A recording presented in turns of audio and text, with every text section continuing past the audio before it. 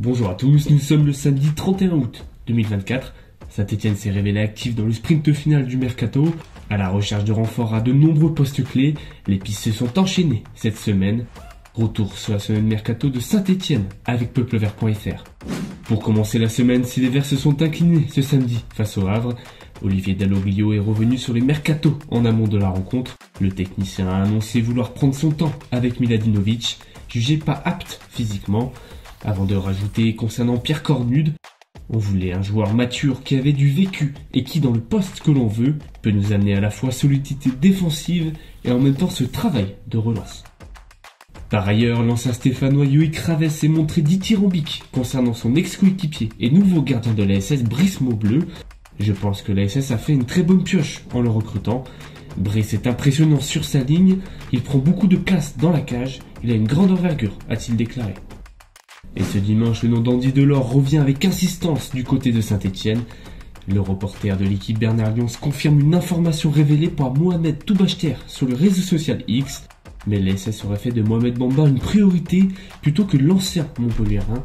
Rétafé serait également sur le dossier. Et puis le dégraissage patine en interne. Olivier Dalloglio avait annoncé en conférence de presse ne pas compter sur Benjamin Bouchoiry ou Thomas Bonconduit cette saison. Mais selon Bernard Lyons, alors qu'il avait des touches en Ligue 2, Monconduit préférerait finalement rester dans le forêt, quitte à ne pas disputer une seule minute. Le restart récemment promu était intéressé par son profil. Toujours au poste du numéro 9, la SS ferait de Mohamed Bamba sa priorité. Ancien coéquipier d'Augustin Bocquier en Autriche, l'attaquant de Lorient a inscrit 8 buts en 16 apparitions depuis janvier 2024. Rétafé aurait formulé des offres de prépayant avec option d'achat pour un montant avoisinant les 12 millions d'euros. Un accord semble proche avec le club espagnol, alors que Crystal Palace serait également sur le coup. Et puis Peuple Vert fait le point sur l'opération dégraissage entamée par les dirigeants stéphanois. Louis Mouton espérait s'installer dans la rotation, mais celui qui n'a pas joué une minute face à Monaco est en fin de contrat en juin prochain. Avec la volonté de signer un renfort dans l'entrejeu, ses chances de gagner une place de titulaire semblent réduire. Mais aussi Ayman Aiki devrait bien être stéphanois cette saison. En difficulté sous Batles, Olivier Dalloglio compte sur lui dans la rotation. Rétafé était venu au renseignement, mais les dirigeants espèrent le faire progresser dans le forêt. Enfin, le progrès révèle une nouvelle piste au poste de numéro 6. Saint-Etienne aurait coché le nom de Mamadi Diambou, milieu défensif de 21 ans du Red Bull Salzbourg. Mais les Verts semblent avoir réellement jeté leur dévolu sur Pierre Ekoua. Le milieu défensif de Sunderland dans Championship s'est particulièrement révélé la saison dernière, avec 5 buts et 2 passes décisives. Passé par les équipes de Chelsea U18 et de West Ham U21, le joueur de 22 ans a disputé 40 matchs l'an passé. Ce mercredi, le nouveau chouchou du stade Geoffroy Guichard est annoncé convoité par des formations européennes.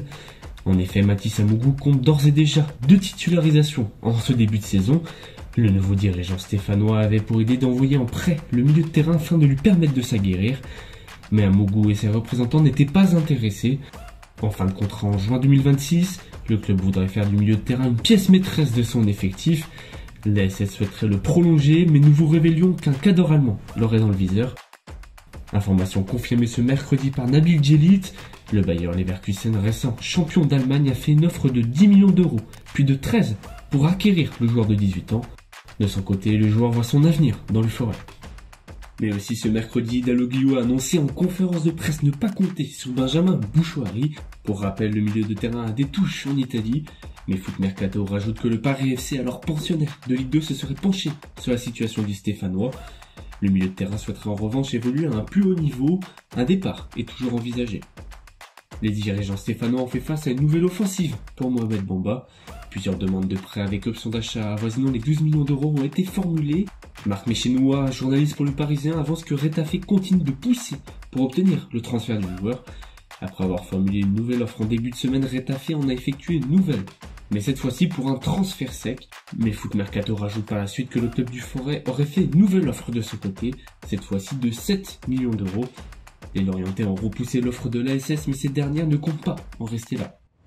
Et puis une nouvelle piste s'est envolée ce mercredi. Spearings, proposé par Lens à Saint-Etienne, n'a pas réellement convaincu les dirigeants stéphanois. Le milieu de terrain s'est officiellement engagé avec le Brondy IF du côté du Danemark. Le néerlandais a signé un contrat jusqu'en 2027 avec Brondy après avoir été libéré par Lens. Et puis piste révélée ce mardi, Ekwa se rapproche du Forêt. Selon nos informations, le milieu défensif est en discussion avancée avec les dirigeants de la SS. Un accord de principe a même été trouvé entre Pierre Ekwa et le club du Forêt.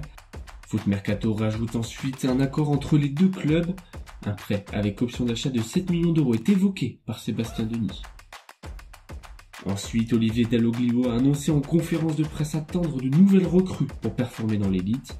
Il faut se renforcer un peu partout. L'équipe manque d'expérience pour ce niveau-là.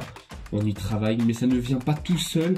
Effectivement, il nous faut des cadres à un moment donné pour aider les plus jeunes, pour que le groupe avance. On a besoin d'avoir ça, a-t-il affirmé. Et justement, 90 Football avance que Saint-Etienne serait sur la piste de l'attaquante de Leicester Patson, d'accord Acheté à 25 millions d'euros par le club anglais, l'avant-centre réalisait deux saisons à 24 plus 27 du temps d'Autriche. Mais depuis, Daka semble être en délicatesse du côté de la première ligue. Relégué en championship la saison précédente, Daka était impliqué dans 12 réalisations en 20 apparitions. Seulement l'attaquant s'est gravement blessé à la cheville durant la préparation pour une absence de plusieurs mois. Alors une bonne idée pour la SS, affaire à suivre. Saint-Etienne était annoncé dans une drôle de situation ce lundi. Le Disport avançait que le club du Forêt avait trouvé un accord pour le transfert du Clermontois Mohamed Cham. Seulement l'Autrichien n'avait aucune intention de porter la tunique verte la saison prochaine. Cham s'est même rendu en Turquie pour forcer son transfert à Trabzonspor. Ce jeudi, l'attaquant s'est engagé pour les 4 prochaines saisons en Turquie. Fin d'une piste pour la SS. Les Verts ont officialisé ce vendredi la signature de Pierre Ecoua, alors que nous vous annoncions en exclusivité un accord entre le joueur et Saint-Etienne. Formé en Angleterre, le joueur de 22 ans débarque provenance de Sunderland sous la forme d'un prêt avec option d'achat, celui qui portera le numéro 4 cette saison et le dixième renfort du mercato estival. Ce vendredi, les Verts ont enfin trouvé leur numéro 9, après s'être rendus dans le forest ce vendredi après-midi afin de passer la traditionnelle visite médicale. Lucas Tassin s'est engagé avec l'ASS jusqu'en 2028 avec une option d'une saison supplémentaire. Un montant de 10 millions d'euros bonus compris est évoqué par le journaliste Sacha Tavioleri après une première offre refusée de 7 millions. Le joueur de 19 ans a disputé 26 matchs de Jupiler Pro League pour 8 buts et 4 passes décisives inscrites. Ensuite, piste révélée par Foot Mercato, Mahmoud Bentaï devrait s'engager en prêt du côté de Zamalek un club de Ligue 1 marocain et une formation suisse ont tenté le coup dans les derniers instants, ajoutait le média ce mardi. Si le mercato reste ouvert jusqu'en fin septembre en Égypte, ce devrait bien être aux Amalek que Mahmoud Bentaïg évoluera la saison prochaine. Mais aussi, Karim Sissé devrait quitter le Forest cet été. Le Stéphanois va être prêté jusqu'à la fin de saison à Annecy, révèle l'équipe. Ce contrat jusqu'au 30 juin 2026, le joueur de 26 ans aura l'occasion de s'aguerrer en Ligue 2. Le mercato estival a enfin touché à sa fin. Saint-Etienne a enregistré un numéro 6 en la personne de Pierre Ecoua et un numéro 6 avec Lucas Tassin. Les Verts se sont renforcés dans différents postes clés. Olivier Dalloglio a enregistré une recrue sur toutes les lignes de sa formation. Mais l'SS pourrait encore enregistrer quelques départs. Alors à la semaine prochaine pour le JT avec peuplevert.fr.